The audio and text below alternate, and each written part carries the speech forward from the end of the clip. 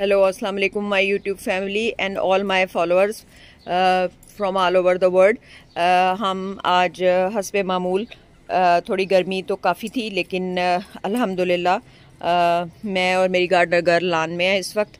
तो जो है हमने काफ़ी सारा uh, तो सी देखे माशाल्लाह।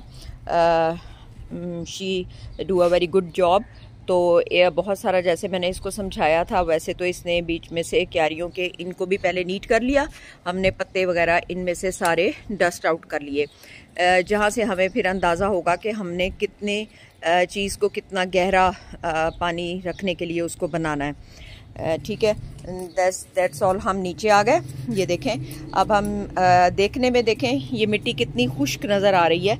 लेकिन इसके नीचे क्योंकि हम इतना मॉइस्चर छोड़ते हैं, मैंने आपको बताया था कि सुबह शाम के पानी में हम इतना मॉइस्चर छोड़ते हैं, सी देखें कि अब आपको मिट्टी जो है वो नीचे से वो नज़र आ रही है कि मिट्टी जो है वो अल्हम्दुलिल्लाह आपको नीचे से मॉइस्चर नज़र आ रहा है।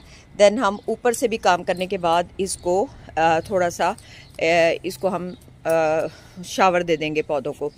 तो जैसे हमने आपको बताया था कि हम नीचे से वो करेंगे और इसको गुलाई में, नंथरा बुश को गुलाई में काट देंगे। तो हमने इसको गुलाई में जो है, देखें, बना दिया एंड नीट एंड क्लीन लग रहा है। और इसी तरह हम बाकी पहले ऊपर तक आहिस्ता आहिस्ता स्लोली स्लोली हम आपको दिखाते रहेंगे।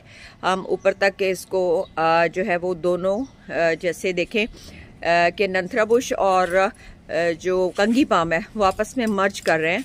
इनको भी हम राउंड शेप दे के एक दूसरे से अलग करेंगे। और यहाँ पे हम बॉटल पाम से इनको अलग कर चुके और अल्हम्दुलिल्लाह, देखें, ये राउंड शेप में भी आ गई।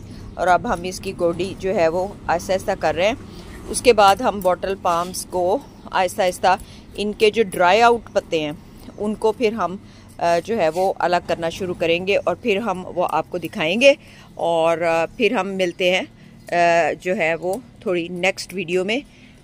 Be blessed everyone be blessed to you all